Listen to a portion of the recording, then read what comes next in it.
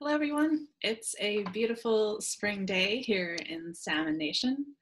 Uh, my name is Cheryl Chen. I live here in the beautiful Willamette Valley, west of the Cascade Mountain Range and south of the mighty Columbia River.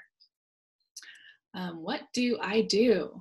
So, some would say what I do is cultivate teams and grow organizations. Uh, some people call it operations, uh, but here at Salmon Nation Trust, we call it bricolage. It's a unconventional title for unconventional work. Uh, it essentially means taking lots of smaller pieces and building something larger out of it. So essentially, I'm a, I'm a builder. Uh, my day to day is to try and support and uh, build what this vision we call Salmon Nation looks like uh, in the real world. And so, why do I do it? I do this because I want to help this bioregion be a better place and to radically transition away from archaic extractive models and more towards local regenerative loops that keep value in its place and nourishes people in place. So how have I helped this bioregion be a better place? Um, I help this bioregion be a better place by shining a light on local, beautiful expressions of people living and innovating the change we want to see in the world.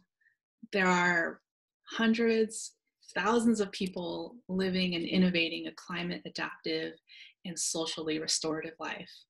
I want to amplify as many people as possible and help to weave the fabric of change makers that cross pollinate and replicate what works and collectively usher in a new regenerative era for our bioregion.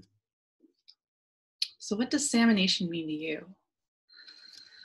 Salmon Nation means taking care of the place we live and the community around us and being connected to something bigger than ourselves. Uh, I think it means living the change we want to see and helping others do the same.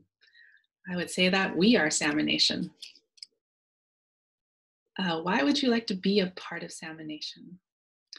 So, I want to be a part of Salmon Nation because I think the way forward is through community. Our bioregion is so rich in natural and human diversity.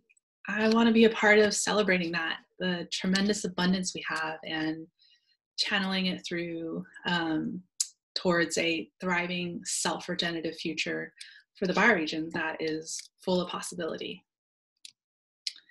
Okay, well that's it from me. Thank you guys.